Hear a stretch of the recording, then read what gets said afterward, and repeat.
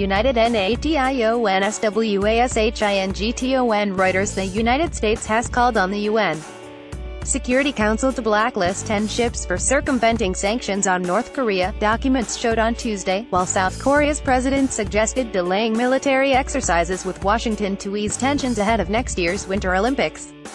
Documents seen by Reuters said the 10 vessels had been conducting ship-to-ship transfers of refined petroleum products to North Korean vessels or transporting North Korean coal in violation of UN sanctions imposed over Pyongyang's nuclear and missile programs.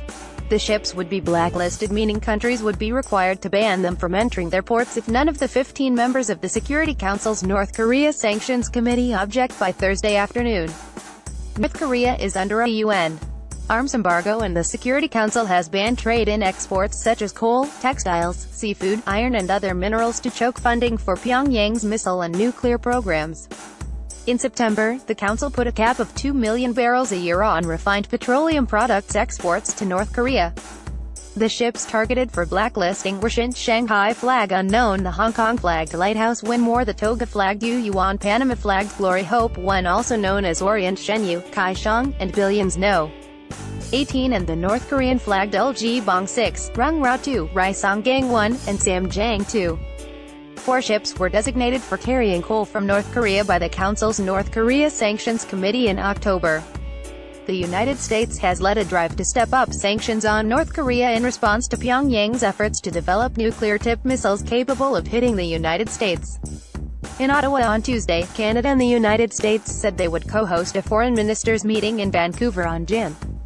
16 to demonstrate international solidarity against North Korea's nuclear and missile tests. Representatives of the countries that sent troops or other military support to the U.N. backed effort to repel North Korean forces after the 1950 invasion of South Korea will attend. Japan, India and Sweden will also attend, U.S. Secretary of State Rex Tillerson said. We can't talk unless North Korea is ready to talk. Tillerson told reporters after meeting with Canadian Foreign Affairs Minister Chrystia Freeland. What's important for North Korea to know is that this pressure campaign will not abate, we will not be rolling any of it back, it will only be intensified as time goes by, and it will remain in place until they agree to give up their nuclear weapons and allow us to verify the fact that is what they have done, he said. Freeland said the world had to demonstrate to North Korea that it was united in condemning Pyongyang's actions. The international pressure campaign we believe it's going to be successful, and a successful outcome of the international pressure campaign is a diplomatic engagement, Freeland said. Japan's Foreign Minister Taro Kono speaks during a news conference at UN headquarters in New York City, New York, U.S., December 15, 2017. Reuters' Brendan McDermid Washington has warned that all options are on the table, including military ones, to prevent North Korea's missile development. On Friday, Tillerson had urged North Korea to carry out a sustained cessation of weapons testing to allow the two countries to hold talks. North Korea paused its missile testing for more than two months before firing a new type of intercontinental ballistic missile in late November. U.S. officials say it has given no indication it is willing to discuss giving up its nuclear program and Pyongyang has repeatedly denounced U.S. and South Korean military drills, which it says are a prelude to invasion. On Tuesday, South Korean President Moon Jae-in said he was willing to ease tensions ahead of next year's Winter Olympics in South Korea by delaying joint military exercises. It is possible for South Korea and the U.S. to review the possibility of postponing the exercises, he told NBC News. I've made such a suggestion to the U.S., and the U.S. is currently reviewing it. However, all this depends on how North Korea behaves. A spokesman for the U.S. Pacific Command Commander Dave Benham, declined to discuss any plans for exercises. Earlier on Tuesday, Japan and South Korea, both U.S. allies, urged China to put more pressure on North Korea. Japanese Foreign Minister Taro Kono said after talks with South Korean Foreign Minister Kang Kyung-hwa that China, North Korea's neighbor and only big ally was implementing Security Council resolutions but could do more.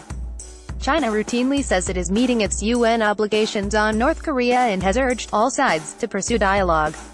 The U.S. Navy's top officer, Chief of Naval Operations Admiral John Richardson, said on Tuesday that vessels from the Eastern Pacific could be moved to reinforce U.S.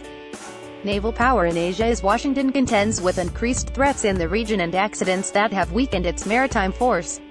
China has been irritated by stepped-up U.S naval deployments in the Pacific and along with Russia has proposed that Washington and Seoul halt major military exercises in exchange for North Korea freezing its weapons programs. Washington has warned North Korea it would be totally destroyed in the event of war and on Monday U.S. President Donald Trump unveiled a new national security strategy stressing the need to deal with the challenge posed by Pyongyang. This week Washington publicly blamed North Korea for a massive worldwide cyber attack in May that crippled hospitals, banks and other companies. A White House official said on Tuesday that Facebook Inc. and Microsoft Corp. disabled a number of North Korean cyber threats last week.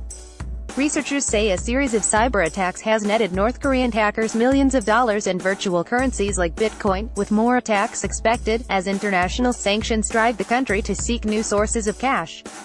Reporting by Josh Smith in Seoul, Jeremy Wagstaff in Singapore, Tim Kelly and Kiyoshi Takenaka in Tokyo, David Brunnstrom, Susan Heavey and Idris Ali in Washington, Michelle Nichols at the United Nations, Warren Strobel and Leah Schner writing by Linda Sieg, Nick Macfie and Grant McCool editing by James Dalglish or Standards D. Thomson Reuters Trust Principal